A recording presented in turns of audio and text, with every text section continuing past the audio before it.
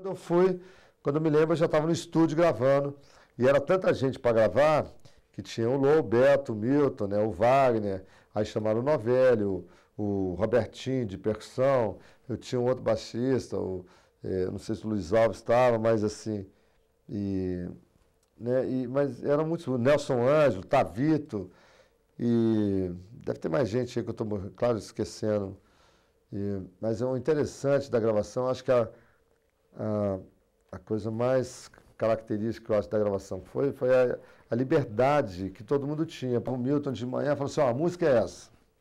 Aí vem tá, quem estava ali na hora, assim. Aí, de repente, quem acordava cedo estava ali. Quem acordava tarde é, não estava ali. Então, o pessoal que estava ali, então, então vamos lá, passar a música e tal. A gente, ah, um dava uma ideia aqui, outro dava ideia ali, aí, daí a pouco a música estava pronta e tal. Aí chegava mais outro no finalzinho, ah, pegava um badulac lá, começava a fazer, ah, vamos tocar percussão nisso. Então, várias vezes eu já cheguei, a coisa já estava pronta, aí eu pegava um cachixi, fazia uma percussão. Quando eu estava antes, eu ajudava a organizar, não, esse aqui, vamos fazer isso aqui, a introdução. Ah, não tinha baixista, ah, o baixista chegou atrasado, agora o Novelli está ali, ah, o Novelli só vem na parte da tarde.